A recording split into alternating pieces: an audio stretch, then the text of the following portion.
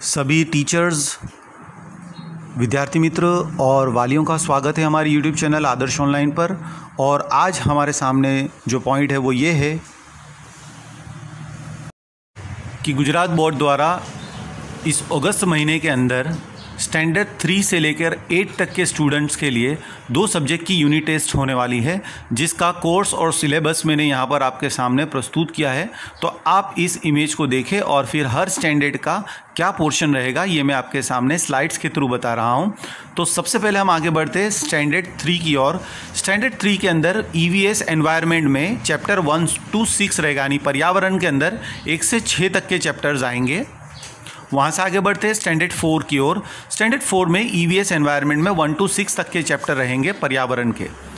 और standard five की अगर हम बात करें तो स्टैंडर्ड फाइव में ई वी एस एनवायरमेंट में वन से फाइव तक के चैप्टर रहेंगे, यानी वन सब्जेक्ट का अभी कोर्स हमारे सामने आया है।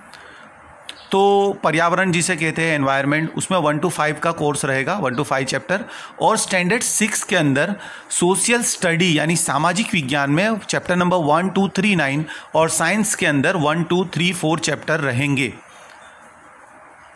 सोशल स्टडी सेवन स्टैंडर्ड के अंदर सोशल स्टडी में वन टू थ्री नाइन और साइंस में one two three four chapter आएगा। और अगर हम बात करें स्टैंडर्ड एट के लिए तो सोशल स्टडी में वन टू थ्री फोर और साइंस के लिए one two three four chapter रहेंगे।